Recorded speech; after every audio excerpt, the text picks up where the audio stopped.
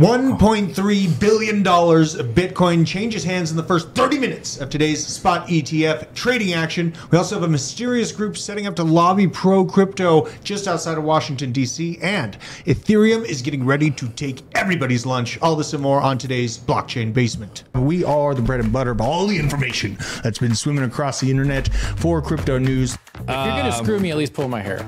Hell yeah. What do you got? Oh, oh, they could start chopping off fingers. They're Yeah. like, give me your seed phrase, but That's yeah. I don't know it. Over two years, he's made like 17k on oh, Roblox. and he's What? Like 12. You never listen to me, and we must be married. Yeah, well, how much are you investing? A hundred dollars. four to six hundred thousand. The you think it's so generational signals are now. Do you think Now. You're spread so thin, that's how you get in on Snake. Snake's been my biggest winner. Ah! Oh, Welcome. Vibes. Welcome, welcome. Oh shoot! This is the new set. This is what we're looking at. We're we're we're still work in progress. We're designing. We're figuring out what we want to put up. I want to get something. Uh, just be. I feel like this is my Americana wall in the future. Maybe you know we what I can mean? send some like stuff in for us to hang up or whatever, Yes. some It decorations. It feels like a late night talk show. We just Yeah. need like a donkey and a fish hook, and all's good. yeah, I mean, I can it- actually it look feels at y'all now when I talk. It's definitely cozy. Looking cozy, yeah. Sin Diesel saying it looks cozy. New layout. What's up, everybody out in the chat?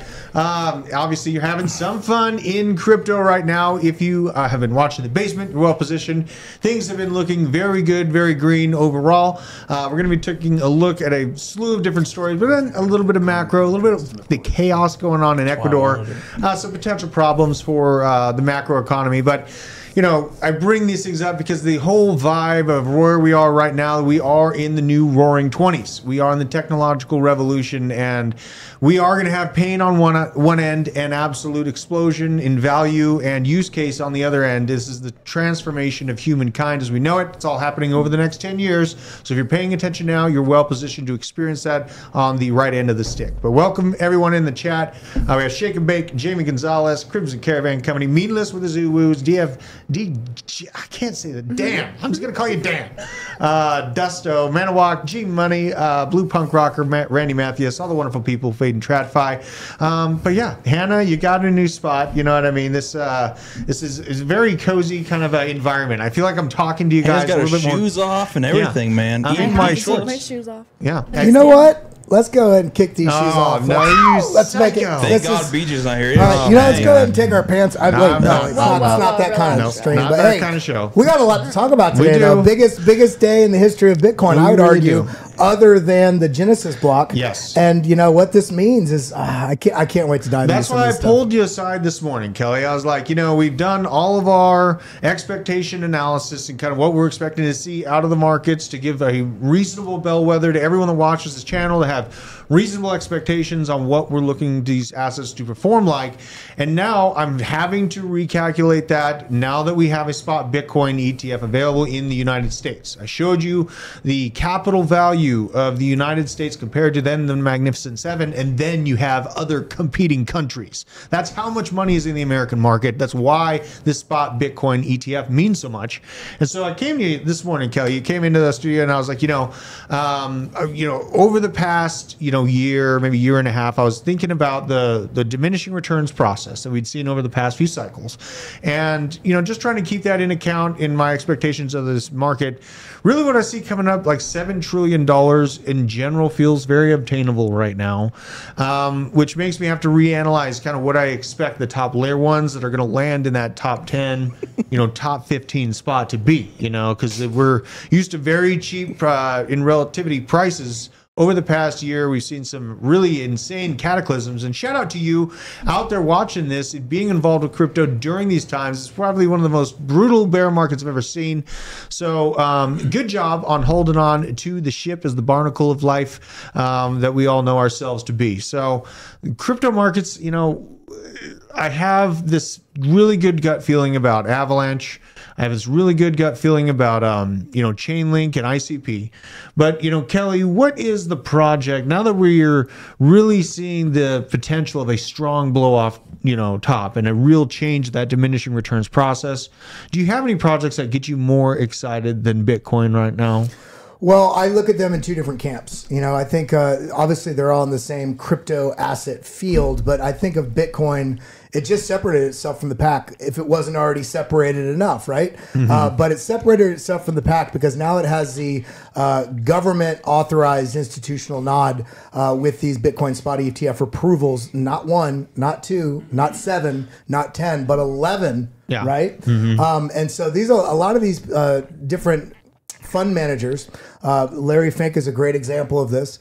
Uh, has been uh, downcasting or cast, casting aspersions on Bitcoin over the last you know seven years or so, uh, and the cognitive dissonance and the ignorant that the ignorance that surrounds Bitcoin.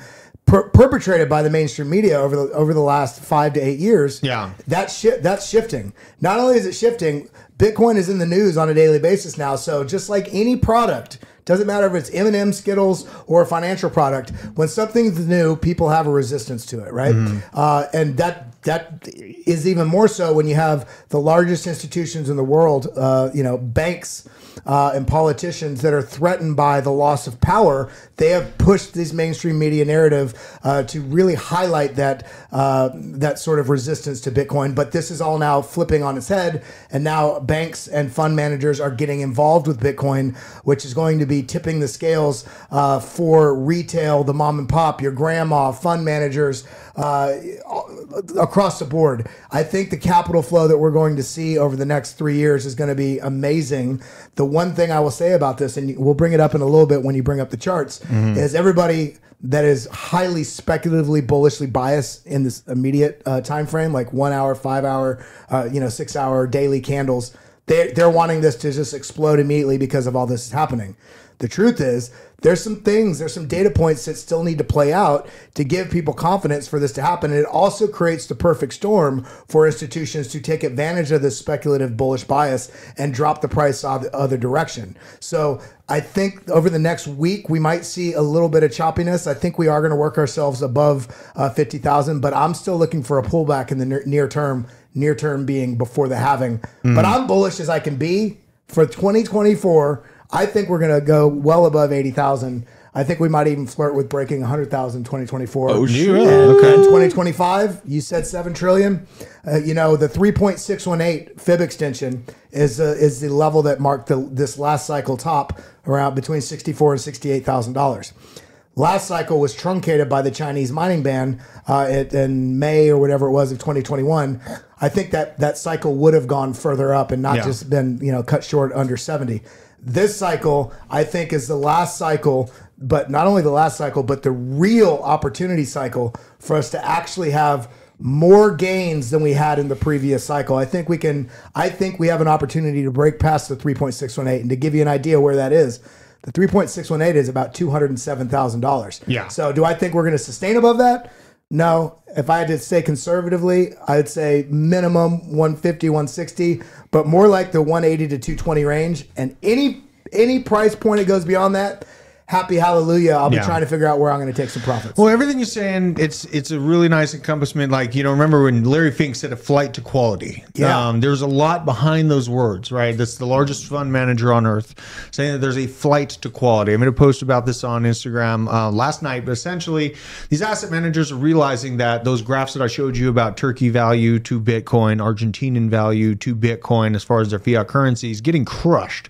Bitcoin's already well beyond its previous all-time high in those currency denominations right well, now. he also said not only fights to quality, but he also said it's going to transcend all other currencies. Yes, exactly, and that's a big deal, right? I mean, insane. Yes. In college, they were they were foreshadowing one world government, one world currency, and and the U.S. dollar was losing dominance. Mm-hmm. And here we are, two years later. it comes at you quick. You know what I mean? Everything I was paranoid about three years ago is like happening. I know, but, but I'm you- not anymore. It's Is fine. Drew thirsty? Always. I drink like three gallons of water. He's got to compete with Hannah with Yeah. that stupid I. Stanley Cup. Han- Hannah and her Stanley. But what Hannah just said is, I think, interesting, and it ties directly to one of your your sort of pastime, your fash, uh, uh, uh, passions. Yeah. With, with all those chickens and the eggs you got. Yeah. Have you seen Dr. Jeff Ross's page?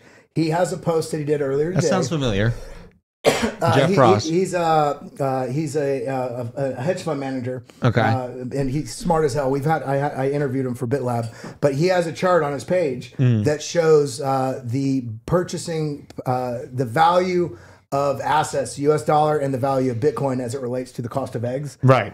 Uh, and I can't remember the exact number. I'll have to pull it up. Uh, but the the U.S. dollar has lost purchasing power against. I think it's like 14 percent against eggs, whereas Bitcoin has gone up 99 percent. Yeah. So these silly sort of things might be fun, but this is the truth. We we get so blinded by what dollar values are, we lose sight of the forest for the trees. Mm-hmm. Because at the end of the day, why do we want capital? So we can buy goods, so we can buy services, so we can take care of our family. So Right. it does matter what something is valued compared to something that we need in our life, right? Yep. Absolutely, man. And, you know, I, I'm just talking, I wanted to set the stage for being wary of larger economic issues going on while we are continuing to have an actual uh, bull market that we've never seen before. And someone asked in the chat if I think that this ETF approval does have the ability to change the four year cycle.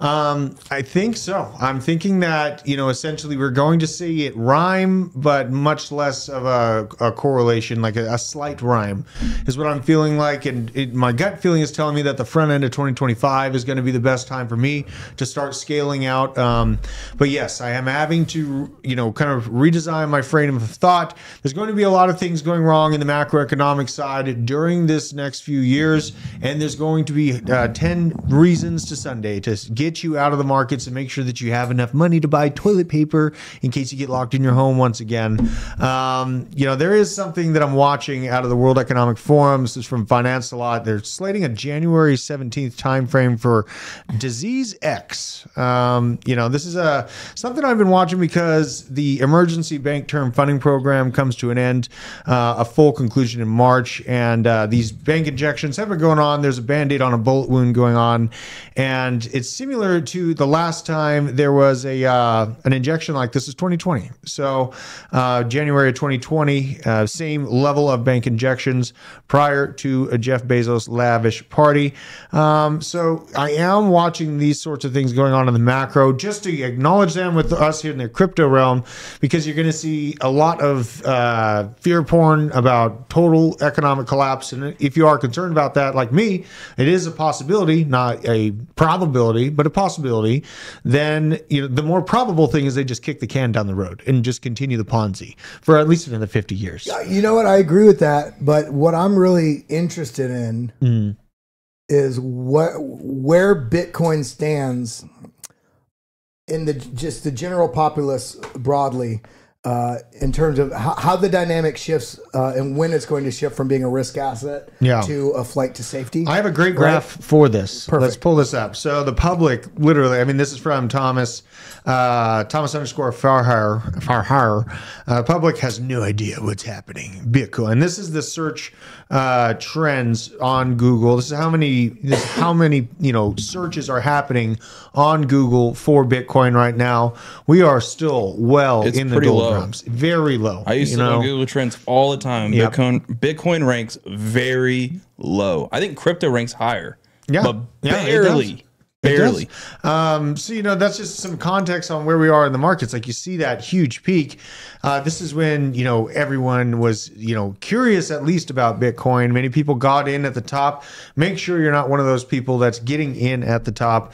Um, you know, at the time of you know probably Q1, Q2 of 2025, I am going to be airing a great amount of caution and ensuring heavy profit taking within at least myself. Uh, but I'll do that on a public platform, so we'll see if anyone listens. Um, you know what I mean? Uh, I'm but- sure the search term will go up as Yeah. the price goes up. But so. but also with that caveat, I know Drew. I know Drew well, and even though he's saying that, I know one of the things he's going to be doing when that once that Q uh, Q one comes is every day. Every time you look at the chart, you reinform your analysis. You reinform and you adapt to the new structures that you're seeing. So there might be a cause to say, "Hey, this looks so bullish. Maybe I'm not going to reduce as much as I wanted. Maybe you reduce more than you wanted." You need to remain flexible to what the chart is telling you and what's going on in the broader narrative, Mm-hmm. uh, so that you can stay in profit and, and to the to the max ability uh, for your uh, portfolio. When for me that that time frame is easy to know because I have those specific goals. You know what I mean? Having very specified goals on what I want to accomplish out of this,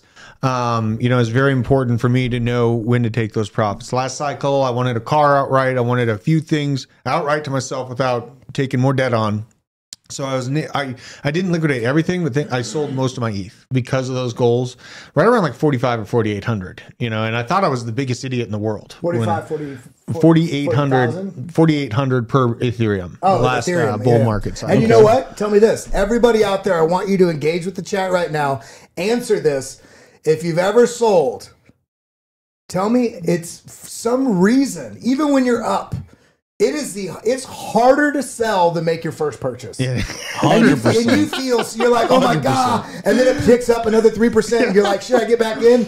Uh, and then you see Yeah. the market drops a week after or two weeks after. Maybe you miss out five or eight percent, but after that, in hindsight, you're like, oh my god, thank God I sold. But for some reason, it is so It is. hard. And this isn't just crypto. This is a good analogy on life. It's so hard to treat ourselves like we treat our guests. Mm. Treat yourself well. Take profits so that you can treat others well. yeah this this cycle might get really weird uh, as far as you know comparing it to four year cycles too and timing it out look at this chart from uh I can DC in ice very easily. bags uh ice bags underscore here talk and this is just a clean comparison to the bitcoin price action compared to uh gold when it had its etf introduced and we've cited this before um you Oh, know it's and there's bullish. a lot yeah it's an insanely bullish graph Good gosh. you know it lengthened so now it's kind of mirroring this just on a larger scale gold is um you know bitcoin if it's accessible by these largest fund managers during an economic collapse that's just more fuel to the fire for them to find that flight to quality. That's why those words keep ringing in my head. And uh you know i did see blackrock backing off the esg initiatives once uh, 22 state attorney generals came after them for not only their economy being hit by them during the high inflation levels, but then uh, a large majority of these states that push back against the ESG initiative and BlackRock there within uh, have a heavy industry uh, reliance on energy, right? They're part of that energy sector, and that really destroys state GDPs if you're just overhauling it because of some you know 17 year old kid saying how dare you? You know then there's major problems. They get felt over a few years. They realize their books have gone very red. Um, so i think that proof of work is going to be preferable. Proof of stake won't have any uh, any missed opportunity in this though. There is something we are uh, we are watching that's also coming around the bend. It looks like I mean, first of all, we have this. Ethereum just put in a uh, three day EMA, EMA cross. Only other times it had this same lineup was uh, 2017, where it went up 2,800%, 2020, when it was 2,100%. So, you know, I am feeling very good about ETH's uh, positioning price wise right now. Um, and with that, like we saw it earlier in the week, uh, you know, I think it was Monday or Tuesday, you had ETH really hitting it. And then the next day, you had Pendle. Uh, we were talking about Pendle. I think Pendle and that the rest of those are doing amazing right now. Let's see where Pendle's price action is. Um, let's see here. Yeah, up 18% on the day. Um, pretty well up on the week there. So this is another one. You know, I, I know we were talking about uh Near Foundation yesterday Is The graph on near Did looks really it? good. I didn't buy. I saw You some said you were? I know, but I saw this. Look, uh, near foundation cut staff by forty percent, saying Treasury remains strong, but still having to cut a lot of a lot of people while the prices are starting to pick up. The rest of the market's starting to pick up. You know, it's kind of concerning. You know what I mean? Because it's a, a thought in my mind is like a company in crypto um, just needs to keep the lights on, the activity going, while the bear market and the doldrums are happening, building and you know trying to build new things. And we are right on the edge of the bull market, so like you know, companies should be starting to see a little bit of green. Right. You know, it, it could like- be it could be a couple things that are all a little bit cautionary. It could be something like uh, the the money flows and profitability of whatever their business model isn't hitting, but it Mm-hmm. could also be something as simple. And this is why it's important to look at the team because it could be having inner conflict or something where they're having to scale back because of something that it's they're forecasting something coming coming that we don't know about yet that is Yeah. likely going to cause uh, a drawback in their profitability. I mean, it's, so. it's still a potential for me. I haven't written it off. I mean, the graph still looks decent, you know, and it didn't do bad over the day. It was up at ten percent, or you know, so it hasn't ran away yet. A lot of people, you know, I know in the chat we're bringing up they stacked this thing at around a dollar. Very good move if you did buy that dollar spot. That's ninety eight cents at the very What's the total doldrums of it. supply on, on near? Uh, what's let's the, see here. What's the current supply? Uh, current supply circulating is one billion, and total supply is one billion. So, um, you know, it should be. You know, the supply looks like it's fully out. It doesn't have the max supply listed because it's just total and circulating. Uh, but the fully diluted market cap is sitting exactly there, uh, 3.6 bill, uh, same as the market cap listed here. Let's look at the flash view here. I, was like I have an this. interesting question. What's I, that? I don't know what how much money I want to say here, but say you make hundred k Mhm. in this bull run, how much are you taking out for other investments, car, pay, whatever, and then how much are you putting back into investments in crypto? Man, that's a. lot. I mean, here's my goal. People in the chat, let us know too. yeah, what are you guys gonna do this in was the a shower thought I had. I was like, how It's much? I was just thinking, shower. I was like, how much am I going to take out and like put into my house or Mhm. pay off the rest of my truck or whatever, and then Mhm. how much am I going to put it back into crypto? I don't know. Yeah, What do y'all think? I mean, my goal personally is to pull out 500 and then get a new home. You know, have the home that I have right now, and then pull out another 500 and pay for that uh, with the crypto to have Okay. that house to live in. So that's my goal. Um, Hannah, what what would be a re- what do you what are your targets here? What would you want to accomplish in the next bull market? Yeah, I said a down payment on a house for sure. That's my number one goal. Not that I want to buy right at this moment, but I definitely want some property okay, okay. as well. Where at? Is it going to be city center stuff? Or are you going cheap woods? Where is it at? Me and Aaron are in the cheap woods. I want like in the middle. I think. Okay. In Okay. the middle. Suburbs. Okay, fair enough. Uh, don't know. Kelly, what do you think? goal? Oh, the goal. I mean, I have a hard time as an analyst thinking about this because I want to look historically at the trends of, of the Bitcoin bull market cycle, market cycle in general, on the four year cycle. This tailors back to the other question somebody had Do we still have a four year cycle? Because now that we have the ETFs involved, there's going to be, uh, you know, the flood of capital in is going to drive, I think, an incredible bull market. The question is going to be, as more and more institution uh, institutional players come in, smart monies come in, fund managers come, uh, indexes, all these different things get involved. They're also going to be hedging their positions, which is actually going to start to diminish uh, at a quicker rate the volatility in the market. Now the question is going to be: Do we get a blow off top again, Yeah. or do we get some sort of rounding top that, like we see, still larger volatility than we see in the stock market, but more of like instead of a seventy to eighty percent pullback in the in the bear market, do we only get sixty percent? Do we only get forty percent? Like what what is this going to look like? So for for me, I am going to move all of my alts into Bitcoin Okay. for uh, and from there determine how much I want to. And again, this is this is going to be shaped. I would say I would probably I'm probably going to leave about 35, 30 to 35 percent long term hold that I don't touch whatsoever. Mm. And then as as the market drops, and we have a whole course on this in BitLab Academy. As the market drops, uh, there's uh, uh, several different signals that I utilize looking at on chain data and what the different relationships of long term holders and short term holders are. Uh, and now I'm sure we're going to get new data points to look at with the ETF flows Yeah. uh, that we can add to our tool bag uh, to figure out when we want to start scaling back in. But uh, th- that's I would would say, yeah, I'd, I'd reduction of about 70% out of the Okay. market. And then I'll scale back in very aggressively where I think a bottom is going to be. TJ Shed is in the chat. I see. Hey, TJ, what's up? Hey, you know what? With the reshuffling, we don't have TJ on the desk anymore. I know. know, we He's probably find like, what him. is the setup? We Also, uh, I saw a funny comment. Crypto Stevo says 80% cash, 15% crypto, 5% for Hannah's ring. What? What's good with Oh, that? Yo, what's up? That's a ooh woo right there. Oh my Yeah. gosh. Uh, Put some put some hearts in the chat for TJ though. Hey, just so you know, she only takes precious metals. So oh my gosh. I, yeah, I don't want no lab diamonds. You know? We brought up lab diamonds yesterday. Oh, she's had one of those girls. Yeah, she went the real one. Okay. Oh Lord. Uh, you brought up short-term holders, man. I, I have this graph on short-term holders. Actually, transferred two billion uh, dollars worth uh, two exchanges. It was the fourth largest movement in two years. Uh, you know, uh, pretty recently here. So, you know, Kelly, we are seeing the short-term holders kind of taking their their bags. You know, a little bit of good gains over a short amount of time, sending it to the exchange, experiencing a little bit of uh, profits. You know, no sh- no shame in doing that, no harm. Well, we're also Um, at, we're also at the same levels of profitability in the market right now that we were uh, in the 2019 run up from 3,500 up to 14,000. Yeah. Uh, the number, the percentage of people in the market that were in profit, we're basically hitting that sort of metric right now.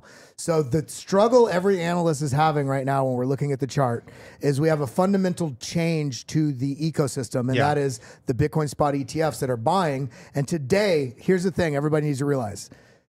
We're seeing huge flows into those ETFs. Now, what we need to see is what's the response overnight, really through the end of this week, of what's the buying pressure going to do to the actual market? How much of that's going to be bought over the counter? But then also, is the over the counter uh, places that these uh, these ETFs are buying from, if when they if and when they are, how quick is that is that pool going to be exhausted? Yeah. because that will cause a true supply shock on the exchange. Yeah. So us being on a chart level, we're right at the 48. Uh, sorry, we're right at the 48,000 mark where we've just rejected off twice over the last three days. Right, 48,000 marks to golden pocket from the macro move from the previous all-time high to the market low. So we already knew that $48,000 was a stopping point. In fact, I I drew a chart. Shared this chart January of last year of where I thought we might find a little reversal. This is before we knew about the ETFs, before all that on a technical level. So now, not only do we have record levels of uh, huge levels of profitability, we're at a technical level of a, po- a potential reversal, and there's a lot of uncertainty about what this ETF is going to bring in terms of the supply shock to the market. So. Oh, yeah. There's two things that can happen. There's three things that can happen here, you know, up, down, sideways. But in this case, I think we're not really going to get the sideways. I think we're either going to get a stiff rejection that's going to be a washout that takes us down to that, that CME, CME gap, 39.6, which I, I'd be happy to buy there. Or we're just going to ignore this golden pocket and break up into the mid to upper 50s and start a different type of market cycle that we're going to be looking back to uh, for relevance in the next cycles because we're creating, we're kind of in unfounded territory right now. Things so I just say be safe Yeah. right now. Nothing's Um, guaranteed. it's really good to caution and i really am feeling that way in my stomach like things are changing as far as you know our past bellwethers and our compasses on how we would find out the good rhythm of the market. Um, i don't think it's changing in a bad way. It's changing in a really cataclysmically good way for us here in crypto if you're in early. And also i don't discount the potential for at least a application and strong uh, conversation starting in 2024 this year about an ethereum etf I and- agree. You know what I mean? Like Gary Gensler came out. He said Ethereum and Bitcoin, not not securities. He's already said that in the past. He tried to walk back his words a little bit on the Ethereum side, um, trying to leave that. You know, I said that, but I'm leaving it for the rest to discuss and everything like that.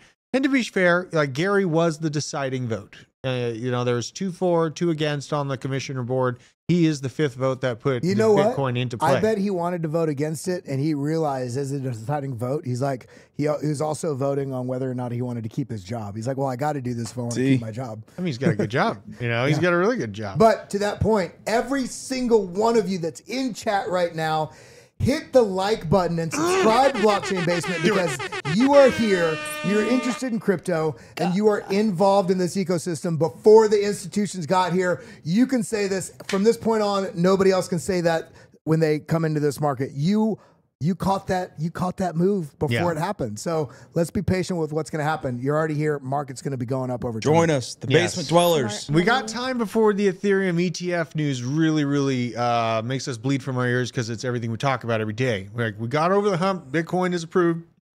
Ethereum ETF, watch out for that approval. And if it's going to happen, it's going to be somewhere around August of 2024. So I am going to be watching for that. Um, you know, I'll try to run through everything else. A lot of things to cover here, and the markets are very exciting today. But I'll back up, go through all the news. We got platforms where the ETFs are available: Fidelity and Charles Schwab. Platforms where you cannot purchase these is Vanguard, Citigroup, Merrill Lynch, Edward Jones, and UBS. Um, you know, I am Charles Schwab, I've heard conflicting reports about this. According to uh, Bitcoin News, it looks like they are going to be allowing access to it. I don't see any way around it for Charles Schwab. They are on a chopping block right now as far as their uh, their valuations. They are more insolvent than solvent at the moment being by about they're they owe 130 percent for how much they take in every year. But you right know now. what? You know, even the, this list below the Yeah. uh, uh, platforms, uh, platforms that you can reportedly not purchase yet. Yeah. My question here, and this can only be told with time. We're gonna have to wait to see how this develops. The future is Bitcoin, and if you people are going to either have exposure and be part of the future or not and get left behind, Mm-hmm. we're going to be a shift. We're going to see a massive shifting and reshuffling of class structures. And I don't like to use the word class, but let's talk about this in the soci- socioeconomic class. I mean, where you fit in your tax bracket. You know, where you're at socioeconomically. Uh, and the same thing is true for institutions uh, going into the future. Uh, those participate in this now are going to have a very active part uh, in not only being in but shaping the future, right? Right. And I think that this is such a big thing that I'm curious to see, and this is where the time comes in. How many of these are absolutely resisting it because they're completely hands off? They they they don't agree with it. They don't believe in it. And how many of these are not allowing, uh, you know, or, or they're blocking access to the ETFs because they have uh, some sort of Bitcoin facing financial products or tools that they're currently working on? Yeah. I mean, the latter that's of those true. two things you're asking about, that's something we need to look into a little bit more. I can answer off the cuff. I know that UBS is definitely uh, closely connected to the Swiss government. It's one of the most uh, No, UBS. just yeah. Um, they absorbed uh, what was it? Was it? It was Credit Suisse. I- They absorbed Credit Suisse Yeah. uh, by uh, order of the Swiss government in 2023 during the banking collapse. So, you know, UBS probably going to be intrinsically opposed to this to probably the last second. Um, in general, if you're sitting in a governmental seat, your job is to keep control of the people. Bitcoin takes your monetary control away. So, you know, until you absolutely need it and your system is looking for some kind of relief from its uh, guaranteed systemic collapse, then you will not acknowledge it until the final second. That's kind of what Can I feel like. Can you imagine yeah. if the adoption rate of Bitcoin goes in such a way that, and this I think is going to happen, governments are going to start having to add Bitcoin to their treasury, right? Yeah. And can you imagine? This is just a bizarre thought here. And a, a situation where there's some sort of economic trouble going on, and the stimulus is no longer printing money, but they need to buy Bitcoin to buoy the price. Oh, yeah. I mean, that's what I hope for. That, and then you get the finite nature of Bitcoin instilling that monetary responsibility by force. That's the process that we're hoping Bitcoin can have. Um, again, and we we've talked about the dangers of BlackRock and its trillions of dollars taking control of this system. That's why we need to continue working on building other decentralized platforms to transact on. Transactions are a form of speech. You have the right to transact in speech, uh, in my opinion. So, you know, we should do everything we can to continue development within the crypto and blockchain space to just make sure that that never goes anywhere. So, on the other side of things, Franklin Templeton going absolute 1776 monetary style with uh, Benjamin Franklin and Laser Eyes is their actual profile picture. This is a uh, one. I think they oversee 1.4 trillion dollars. And there's such a legacy financial Right. institution. They, I mean, the, the people that are involved with Franklin uh, Franklin Templeton, plus the the duration for which this organization has been around, it's it's just markedly amazing. Mm-hmm. Yes. that they're so on board with the Bitcoin train. and it sparks joy. They're using the founding fathers. Like I think I made a video. It's actually my first uh, pre-recorded video I released on the basement. Is why the founding it. fathers are Bitcoin maxis. You Yep. know what I mean? You remember that one? It was a, a great video, and there's a lot of similarities between the requests of our founding fathers that helped form the Constitution and what we know as America today, and the operation and ethos of Bitcoin. And I do feel very strongly that they would be for a transparent, immutable system of transactions. Um, so I keep bringing it up because it matters to me. I know it's uh, you know old school Americana, but I'm not going to let it go. I don't care if I'm irrelevant in 20 years and everyone around me is a pink-haired foo-foo. Um, let's see here. So we got this. We got the ETF. Uh, this is the grayscale trade is dead from Ryan Selkis. It's just showing the discount is gone on grayscale's purchase. Uh, Yeah, know, I, I talked about this on the? BitLab stream this morning. Yeah. What are your thoughts on this? This is interesting because there's a couple narratives that this shapes. One is that there's people that were getting involved with GBTC that wanted some sort of Bitcoin facing exposure, but they did not want to be actively involved in the Bitcoin market uh, Yeah. on the crypto side of it. Uh, on the other side of it, uh, or in addition to that, you also have people that were buying this because there was a negative premium. So in the at the bottom there, there was a negative premium of about I think it was minus forty three percent or did.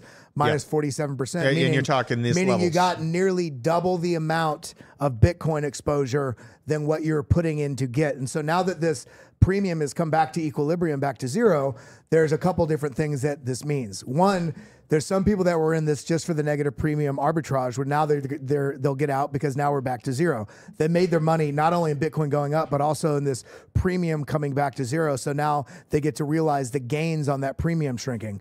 In addition to that, you also have the GBTC trust rolling into an ETF. Right. So there's some people that have exposure within this. Now they're also saying, well, and this isn't going to be a, it's not going to be like 50%. There's going to be some metric that we'll see over, develop over the next month or so that people that are in it on, on the on the exposure side may be flowing from GBTC into, for instance, Bitwise or BlackRock or something else on the uh, on the condition that the GBTC uh, ETF has the highest uh, management fees, 1.5 percent, whereas Bitwise is 0.2 percent.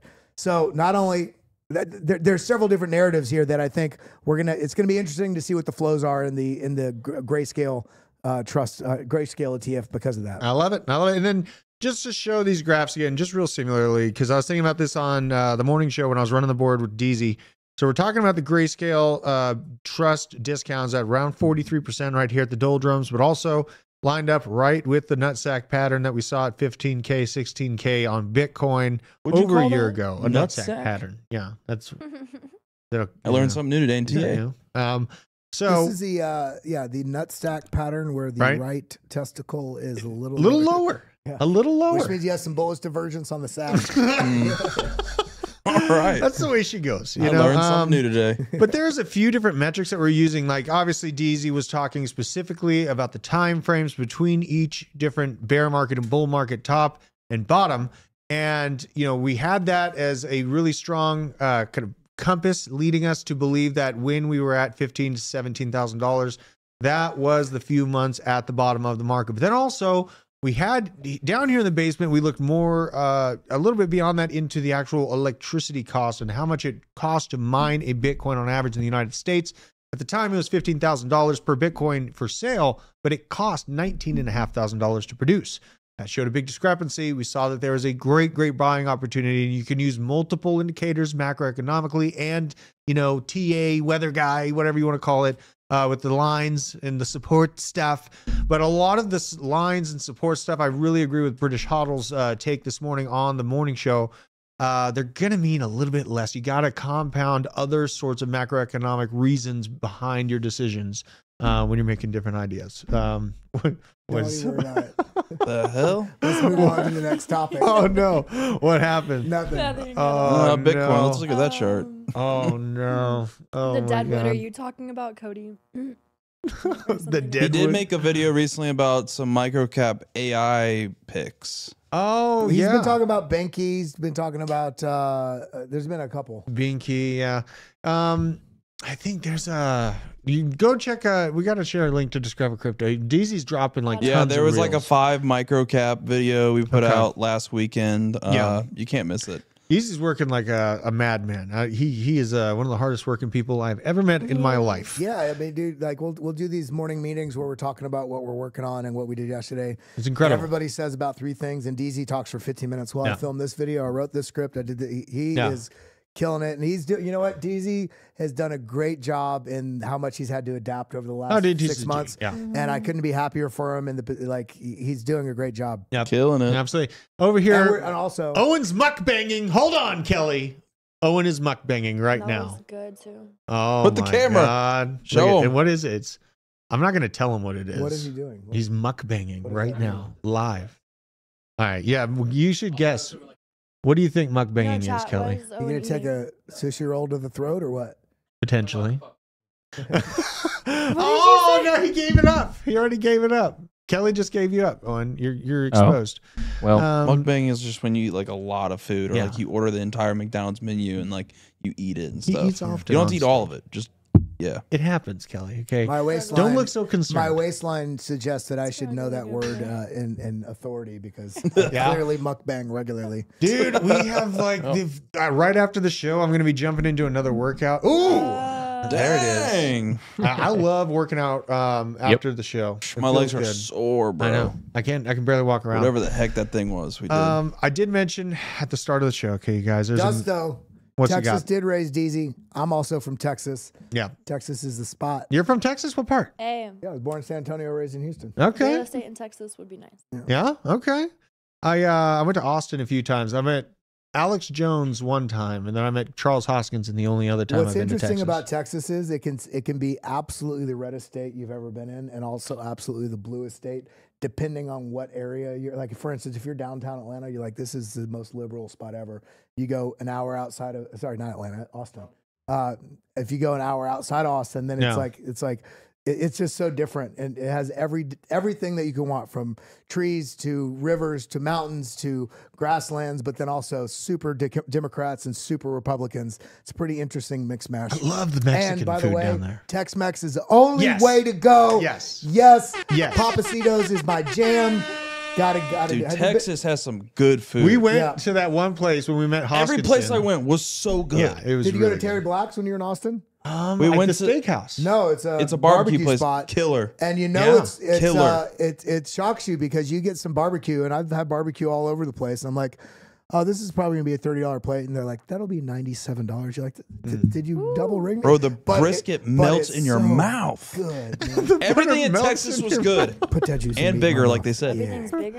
Give it to daddy. Oh my Atlanta God. food is mid everywhere. Mid. Oh my god. Well, There's guys, some good spots that I'm starting to find. I'll Keith send Not you- Lee. downtown Atlanta. Keith Lee on right. TikTok. let us know in the chat. What's your favorite food? Where is it from? Are you a Tex-Mex maxi? You know, I miss green chili out of Colorado. I'll say that much. I miss green chili. When I lived in New Mexico, everybody wanted to add green chili to everything. I'm like, stop ruining my dishes. Oh my god, that's terrible. I love green good, chili. Um, High school football. High school football. About the kids. We do Oh queso God. good here. I like queso. Yeah, in case it's bomb. Um, all right, so I mentioned this. I got to cover this a little bit. Mysterious crypto lobbying group is setting up near Washington D.C. as the U.S. elections approach. Um, I do mention the elections because they are going to be a macroeconomic pain in the side for a moment's time. Um, crypto lobbying group with little publicly available info is gearing up to advocate for digital assets ahead of the U.S. election. Uh, CNBC reports that a mysterious nonprofit they're being mysterious. Hamas, maybe terrorists. They're in crypto. Elizabeth Warren told me so. A nonprofit called the Cedar Innovation Foundation was incorporated in Delaware in April.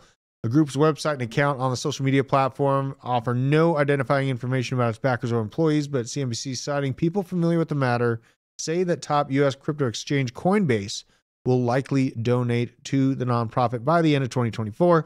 And we all know Coinbase just locked up uh, 10 out of the 13 ETFs as far as being the custodian for them.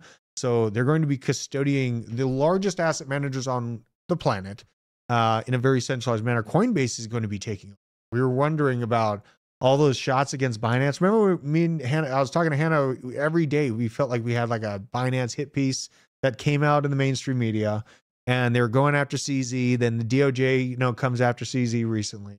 It just feels like it was this large, Propping a little bit. yeah, it was a propping. It was like an orchest- orchestrated push to essentially try to get Binance dethroned. I do believe Binance still sits as the top exchange on the planet.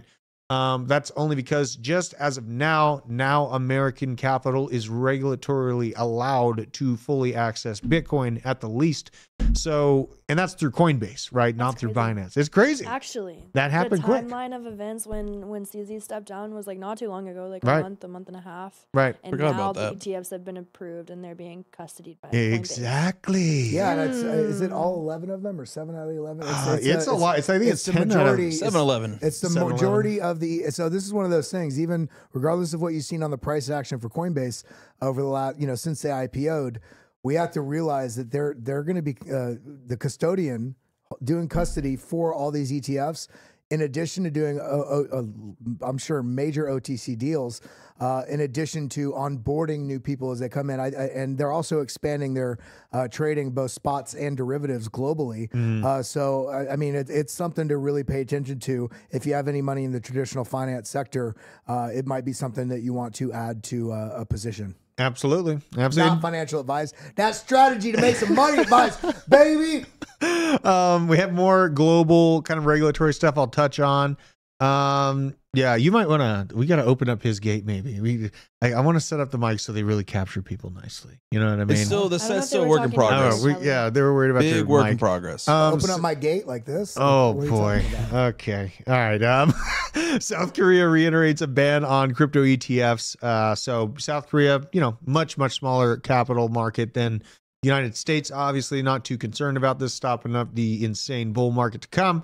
But, But, we but do this, see this, some this is pushback. bizarre though. What's that? because South Korea, I remember about two two years back or something, they were they were at one point the most uh, crypto active uh, country. Um, and they have a huge, I mean, I'm talking a, a disproportionately large number of people uh, of their population that are involved in crypto in some in some capacity comparatively with other uh, with other countries. So it's interesting that they would be resistant to the the the ETF stuff unless they're trying to limit money unless and I haven't read this article, unless it's a, an attempt to limit money leaving uh, Korea and going into U.S. securities. Well, I mean, if you open up uh, access for crypto, like I feel like there is a lot less uh, freedoms within uh, South Korea than the United States, and that you know I don't. I know I bring up all the problems within our own stuff here. Zero dollar G dropping the gifted blockchain Heyo. membership. What's it? What a G? Oh, he got he got Big Daddy. There you go. Uh, There you go. Hell yeah. But I feel like it's just a you know, a situation in South Korea people might be the most active or heavily into crypto and like pro crypto, but then the government is not. You know what I mean? Because they want to retain that control. Um, and seeing the U.S. government, Isn't that funny though? Doesn't that shock you? it is kind of weird. Actually, it doesn't shock any of us. It's funny that the people speak. We vote by our actions. We think we vote at the, the voting. No, we vote and by. sometimes we vote by how we spend our money. we vote the- from rooftops. Uh, no, but in the actions Oh. that we're the things that we're participating in, and somehow the governments, are- you know, when you see these numbers of people participating in a certain ecosystem, and the government's like, "Oh, I don't know about that." It's like clearly the speak the people have spoken because they clearly are interested in this, and we're seeing this today with the Bitcoin spot ETF. I'm not only excited the fact that we got these approved and launched the next day, Yeah. which is already phenomenal, but they we're having record-setting capital flow within 30 minutes of it launching Hmm. shows an astronomical pent-up interest that's been there that the government's been limiting. Yep, absolutely. I uh I'm here to see it. Now we're gonna get into some of the random stuff, some of the macro stuff. We'll start with this. Uh, there was some worry about BitGet Global. Uh, looks like CEO and other C-level um, people. saw this. Yeah, have not been responsive. Kind of worried about them. Uh, you know, uh, this is unwell. So you know, this is the danger of leaving your crypto on an exchange. You are in BitGet, might to utilize heavy caution right now. I would Hmm. definitely um, uh, caution against that. Then you know this is uh, all right. So this is highly speculative, small projects, but I think there's a few in here that I feel very, very good about, and I'm going to tell you which ones I feel the best about. This is from Cyclop No Brain Flip at No Brain Flip on X. I like Cyclop. Is he good? You know, I, I like a few of his posts, but I really liked his picks. You know, I was looking at the proof in the pudding. You know what I'm saying? But I do like the names. Um, so we got this best part. Uh, we're talking about the beginning of the bull market, biggest bull market in history. Many top performers haven't been released yet. Many others have gained a thousand X to early birds. The last bull run like Solana and Matic. Here is 15 tokenless projects that might make your first million in this cycle. And I'm going to go through this list because uh, there's some of these that really excite me. So Layer Zero Labs. I think Layer Zero is. Uh, I've seen this as kind of a sought after integration in a lot of new projects that are getting a lot of notoriety. So I am watching for Layer Zero Labs and uh, what I can do to be a, a part of the air con- uh, the ecosystem. The token and airdrop has been confirmed. Um, so you know it's a deep dive to get the token airdrop. You know they don't have a token yet. This is all very very new uh, to come projects. There's a lot of room for growth here. Can I pause you there just Yeah. for a moment? Because this brings up a point I think everybody needs to be aware of. We're at a stage in the market right now with some of the projects that are uh, that have been out and trading for a few years. That, for instance, uh, Cosmos Dot, uh, and, and I'm not saying uh, good or bad about this, but we just need to consider Mm. that this this is a cycle for a lot of these projects to put up or shut up. Yeah, right. I think I think we're going to be seeing a large reshuffling of the top 100, especially the top 20 over the next year and a half, because some projects are going to come up, come out with their full utility of what they've been working on, Mm-hmm. and it's going to either be over impressive or under impressive. Uh, in in that same note. There's been a roadmap that's been created and, and and trouble that's happened along the way for some projects that something like Layer Zero, uh, you know, could come out and see what those issues have been and created a protocol that does it better Right. and actually comes out and and sort of dethrones some of these. So this is why it's so important to diversify, but also always keep an open mind about new projects that are out there because there's going to be a lot of shuffling going on. It really a is. whole lot of shaking going on. It is, man, and you know that's why I feel good about talking about Layer Zero. I've seen a lot of up, updates, developments, um, a lot What of is layer use- zero? People are asking in the chat. Like, so it's trying to just interject interoperability across the board. So this is trying to be not a layer one. It's going to be it's trying to be that underlying communication route for a lot of different projects to Mhm. interact with each other. Um, well, there you go. yeah, and like just for why I feel good about something like that is we're so early in the development of blockchain. You have to build pathways of transaction before your Ferrari layer one Solana on steroids can transact. Uh, you know, of course, you because know. like you think about it, as this world integrates into the blockchain, people are going to be using logistic blockchains. People are going to be using smart contract blockchains. People are going to be using, and maybe there's going to be something that comes in and does all these different, all these different things in a very great way. Mm-hmm. But there's going to be some institutions that use a variety of different things, and we're going to we're going to need these type of layer one solutions to tie all these things together, uh, so that so that they can be effectively functional Yeah. uh, and grow into this blockchain sector. Yeah. And one more. I know we're running a little short. We got like five minutes. Uh, We started a little bit late, so I'll keep rolling for a minute. I'm excited to go working out though. Um, Starknet is a decentralized ZK rollup layer two network over Ethereum, and uh, it's offering unlimited DApp scaling while maintaining its security of Ethereum through the Stark proofs. I have heard a lot of buzz, a lot of interest about this project as well. So these are the two. I know there's a slew of others that you know I'll be trying to take them piece by piece at a time because I could list off 20 of them that the community is good, the narrative is good, the use case is good, the future is good for it. Um, these are the two. You know, at the very end of the show, I'm, I'm just going to be kind of piecing in these extra. You know, they are very speculative. Okay, these are small market caps in comparison to Ethereum, right? But these are you know reasonable use case projects that I think have a good potential to really uh, have some insane moves over the na- the next uh, you know few years. We have a serious serious uh, move in the markets coming for us here in, in Bitcoin at the least. Apparently, you know, we found we have some snack drinks still. Um, You got that Aaron, snake juice, baby? we got that snack juice. I, found don't know if you the- got the I just found it on the floor Yeah. coming down here. um, we got a it's BJ's. They sent BJ a whole case of Yeah, them. it was just Wait, meant like- There's another tweet. He's get, we're getting more. Yeah, look, look, the blockchain Rev tagged me and Deezy, uh, saying it's our lucky day. Snick OG at Fidgety Beast is working together with Bullish Con- Coin Ada on a second meme with real world product Bull Jerky. Is following Snake Bull Energy Jerky. and is coming to Cardano. This is so chaotic and beautiful. I love this. I hope this works. I'll try it. Uh, we might. Uh, I'll be keeping an eye out. Let me know. Um, you know, I'm This looking out. Wild. Um, I love beef jerky. Never had bull jerky. I've had elk jerky.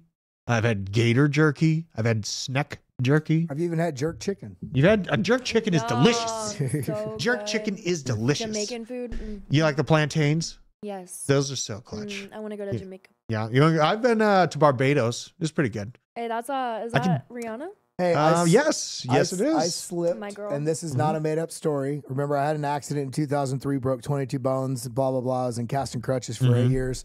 Just when I was shortly, about a week later, was supposed to be getting out of my casting crutches. Uh, I, I got I got out of them. Everything was good. I went on a cruise, and uh, I was dancing at a resort, and I spilled some rum. And this is in Jamaica. Spilled some rum. I slipped on the rum, landed on my foot, re-broke my foot Oh my from God. slipping on rum uh, at a resort in Jamaica. Uh, so, yeah, it was. Good time over. oh my god. So I got to go back and uh, Oh my god. don't- Redeem I don't. You drink. slipped on the rum on the ground or from all the rum you drank? Uh, Probably both. Yeah. I mean, honest. Dude, I was from Colorado at the time that I went to Barbados, and I was, you know, Colorado's a mile high, so it, a, a liter of Jack Daniels feels a lot different in the Colorado atmosphere than Is it that does. why they do the point point three or whatever it is? Or um, the point two? They, they, uh, not point. They do the. You know, and you know when you buy beer in Colorado, Yeah. it's like much weaker than it is. It might be. I mean, It is. It's like two percent or something. So, like, No. if, if you don't know that, you'll go there. You're like, how did I have 17 beers and I'm still well, good? I can go to Barbados. When I was in Colorado, I went to Barbados and had two, uh, two, you know, I mean, we're talking two of them, and I was fine. I played a show with these Rasta dudes that I met on the beach. we were just jamming, you know what I mean? And uh, you know, we got to play, and I ended up playing a show in front of this whole like inclusive hotel thing. But I was hammered by the time I got there, so it went very poorly. I will say that it did not go well, but I made it through. Slept on the beach. Um, good times in Barbados. Um, other stuff going on in the the world here. This is why I always bring up the absolute uh, badassery of Sherpas. Uh, Gelje Sherpa was taking a private client up Mount Everest when he noticed someone dying 500 meters from the summit. He ran over, wrapped him in a sleeping mattress, gave him oxygen, held the oxygen uh, bottle around his neck, on hi- and then put the guy on his back and hiked him six That's hours crazy. Down the mountain Oh. to safety. Well, you know, a lot of times when people are dying on the mountain, they leave them. I know. There's This- many landmarks on the way up to the top that are dead bodies. Yes, dude. This guy was a Yeah. G. Like just You can look it up. You can look up images of people Mm-hmm. that like literally just froze to death. Dude, I saw like Like two days ago a guy. I don't know if it was Switzerland or Sweden, but it's about the same. Mm. It's obviously much different. But uh, they he rode a bicycle to the Himalayas, hiked it with no guide, no oxygen, no nothing, What? all the way to the summit. Came back down and then rode the bike all the way back. No it's like, bro, I'm over here having trouble getting upstairs without being out of breath. Holy That's cow. wild. Um, man, guys, That's so sad. Oh, we got is. a great fact here from Robert uh, Costin. Says What's that? Kelly, South Korea also has an enormously large number of South Koreans. that is interesting. That is truth. That is very true. Wow. Um, Hannah, you ever climbing Everest? You think you're going to climb Everest sometime? Nar. I used Nar? to want to. What are you, Now I- Australian I all of a sudden? don't. Nar. Nar. Nar. She told me that's how they say nar. They do. It's They no in Rs. Australian. Nar. Nar. Nar. I'm like, Yeah. yeah, you- I'm, not, I'm not hiking that thing. your Yeah. voice box is broken. Eat your uh, Indian food, guys. Turmeric is good for your uh, your blood, your heart. Uh, definitely recommend turmeric, especially now that we're in heart attack season after flu season and injection season. So, um, turmeric, good. I'm sorry, Owen. I'm not going to get banned for that one. It's a spice. Okay, they don't care about it yet. Um, here's what's going on in Ecuador. We have uh, purge happening in Ecuador. Uh, they did take over a news agency live on eight on camera. Um, you know, come in, took the host by by hostage, had his hands in the air, and they're uh, basically having a purge because of social unrest in Ecuador right now. So, um, you know, about half of these folks will be in your local jurisdictions after being bussed there by Democrats about five years from now. So, look forward to that in your uh, conquest of living in the city centers because it's going to get nasty over the next few decades, in my opinion. That's why I'm trying to get everyone the hell out. Um, It's and actually what's that? so scary. It's just like living in. It looking is. out your window and seeing that. That's know. sketch. That's just like the movie Purge. It is. Uh, Bob from accounting. Uh, you can. I'm gonna. s- I'm gonna post a link in the chat right now to show you the article that uh, maybe it's fake, but uh, it's uh, apparently it looks like it's real. This What- is what's it got? regarding the Swede, The Swede. the the guy that ran? Oh yeah. that, that yeah, yeah, yeah. rode his bike all the way from. We should cover that guy. He needs a coverage. Um, one more thing: Hertz is liquidating it uh, one third of its electric vehicle fleet due to lack of demand. We have a company planning to reinvest the money into internal combustion systems. So you know all this talk about reinventing and being all autonomous and uh, you know the the reason why I feel worry about automating everything and connecting everything via an electronic uh, vehicle grid, an electronic grid uh, for smart fridges, for smart mailboxes, for all of these different things that we want to interconnect, is because if you honestly look at humanity from an AI perspective, we are locusts as a plague upon society. Who wants you- to rent an electric car? No one it's wants to rent an inconvenient to charge the thing. No one wants to rent. You have to go out of your car. way. You got to sit there forever. No, I just want to pump my car up with some gas. Yeah. Get on my way. I mean, you know, I'm just saying a cold-blooded AI system, if it is Yeah. sentient, it's looking at us like we're users. We're not givers uh, at large. So I've gotten in an Uber before and it was a Tesla and I was like, "Oh, like I like the skylight in here or whatever it's called." And he was like, "Yeah, it's a rental." I was like, "Why'd you rent a Tesla to drive Uber?" you don't have to pay He drove Right? Uber. I wonder in if a he Like made a nice money. Tesla. But I'm like a like it's working. you will own nothing and be happy. Oh my god! I yeah, a lot of the Uber blacks, like in Miami and stuff, the people that are driving them, they don't even own those cars. No they're like, way. they're making payments on it through Uber, and they're never gonna make all the payments. Oh my god! It's like a that's just, ins- I that's was pure very, very It's crazy, man. day because it was in Atlanta. I was like, I just didn't understand how that the finances work out That's a in that rat. situation. That's like the gerbil wheel. You just get stuck in a gerbil wheel, and you just, you know, you never get to leave. You just go s- That's run around, wild, run bro. around. Um, what's that? High school. High school in New York kicked all the kids out. Oh, I saw that. wait, why'd I they kick saw them out? that. They're kicking the kids out of a high school in New York to make way for immigrants. oh my god. What? That's where our So world are they is just going. like done for the year? Are they going online? Listen, kids, you don't need that. Just go home and wear your masks. And we're gonna have school over Zoom. Um, leave your chair there for the Chinese national military aged males that are making their way in New York by droves for the conquest of a lifetime. We are entering the third world championship. So beyond us making buku bucks in crypto, get prepared, buy some land, get all your shit together because it's getting real. Bitcoin. Yeah, I love that guy. Uh, you, you're talking about the guy with the weird haircut, and he's like just screaming out by Yeah, the I, side of the road. I had him as a guest on my show today. no. No, I didn't. I just there was a tweet that, that, that TJ did today, and I, I basically pulled him up next to me at the start of the show. And, Oh uh, my god. Uh, they're going online. Yeah, that is such garbage. That is such garbage. Robbing countless kids of their educational experience uh, for political incentives. Absolutely disgusting. The people that put this in place, you disgust me. I will never accept you as my countrymen. And may the chains lay lightly upon your weak shoulders. Um, but until tomorrow, I hope that you all are just having a good time in crypto. If you're here just now, uh, you're watching the show, smash the like button, share it out to the world, let them know where we are. This is where all the crypto alpha is dropped. And uh, Shout out to Aaron Yeah. right here for putting together this new Yes. set. Great Yes. job. He does a lot of stuff here at Hit Network. Couldn't do it without him. Thank Yep. you, guys. Let's go. came down, he was smashing it. But I know nothing about electric cars. Hey, Ron. We're going to go work out. I hope you guys have a fantastic day, and we'll be seeing you tomorrow. Boom. Peace.